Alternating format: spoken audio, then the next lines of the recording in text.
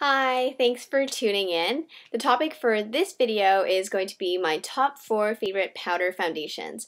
I'll likely do another video for liquid formulas, so in the meantime, I hope you check out the top four um, powders that vary in price range and also vary in its coverage. So the first powder I want to talk to you about is the Chanel Universal Compact Powder.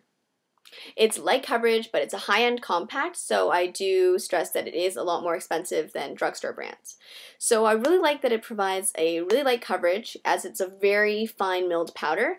So if you check it out, it's really silky in texture and also uh, provides kind of like a translucent powder. So um, coverage. So it's really great for touch-ups um, over liquid foundation or for if you don't need um, much coverage. So if you have really great skin, it's just nice to um, kind of get rid of the shiny skin. And also feels really silky because it's so finely milled, and it's uh, really great because it um, feels like a loose powder without the mess on your skin. I really love this one. I'm using a 70 in beige. It's 70 beige, so it does have a huge uh, range of colors, so you will find something that matches your skin type. And also because it is such a light powder that it's uh, easier to find a shade match. So the next product I really love is the Korres Powder Foundation. And also the powder compact itself is really cute. It comes in a little brick. It's nice. And um, it has a, um, I'd say a medium coverage. So the color I used was WRP3 and the color selection is not so wide, so it's a little bit difficult for people who have darker skin tones. So I wouldn't really recommend this um, if you're looking for shades. But it has really good coverage, and um, the sponge they provide also helps you um, apply a medium coverage because it is a foundation sponge, so the texture of it is um, allows for quick and easy touch ups and foundation on the go. So if you uh, kind of are always doing makeup on the go, then I'd recommend something like this because it does give you the coverage you um, desire. And also has a kind of floral scent to it, which is not really great, but I just love the texture of this powder. It feels kind of creamy versus powdery, and um, I've tried a lot of different products, and this is um, definitely something I really enjoyed because the color is good and the texture is is really high end. You can it feels like a very luminous feeling on your skin and it's not very heavy, even though it gives you the coverage you like. So um, the next powder is MAC Studio Fix. I really can't talk about powder foundations without mentioning this one. And I've gone through so many packs of these compacts, you know, in my 22 years.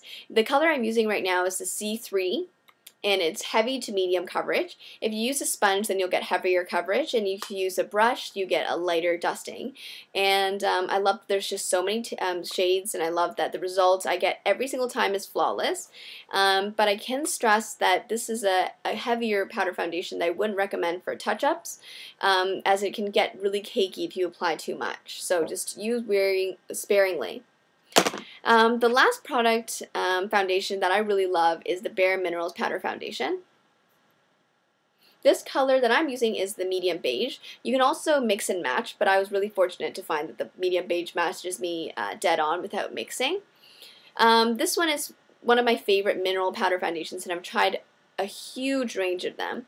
And I recommend this one because it leaves the skin um, silky and kind of uh, glowing versus a, a, matte finish.